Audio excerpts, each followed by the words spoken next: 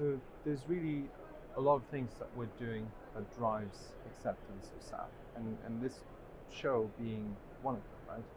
So there's good progress I think that we're making in this regard. Um, we have communications clearly from a lot of the original equipment manufacturers of aircrafts that they're, they're safe to use. Um, it's part of the um, conventional jet fuel spec, so every SAF that we sell is certified to the same standard as regular aviation fuel. Um, and that really drives acceptance, and that will continue to pick up as that industry progresses.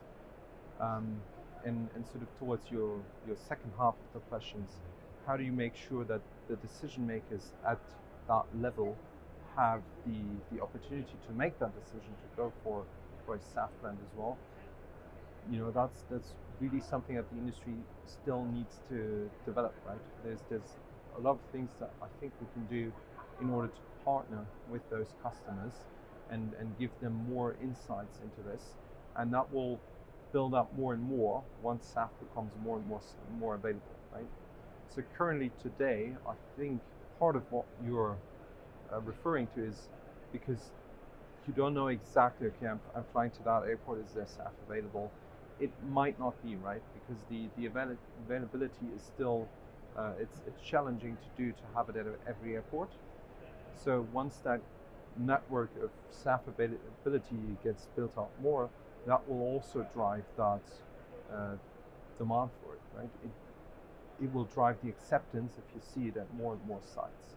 So again, we, we're using the same spec, the same jet fuel spec, and, and civil aircraft should have no issues in, in, in using that. But again, the manufacturers are actively encouraging the use of it.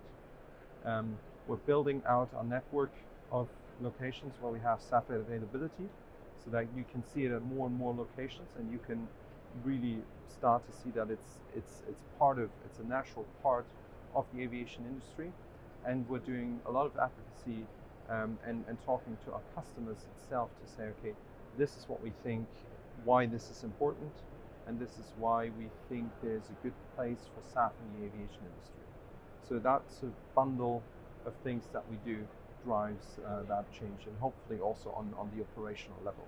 But we're having a lot of great discussions with our customers and with our stakeholders in order to uh, increase the ambition for SAF, increase the acceptance. Yeah, so we, we have a lot of discussions on, on trade shows like this with the, the actual pilots. Um, and we're also using some of our marketing material. For example, we have a newsletter that we send out to all of our customers that features prominent stories not only on SAF but also on SAF and, and also other important topics. So that's being brought up as a very important topic as part of our uh, general offering to customers.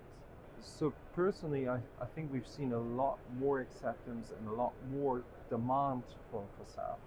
Right? So from what we've seen, um, I would say the demand is higher than, than the current available supply, right? But yes, on sort of a, if you look at everyone that's involved with it, it will get, my prognosis is it will get more and more accepted uh, as time goes on.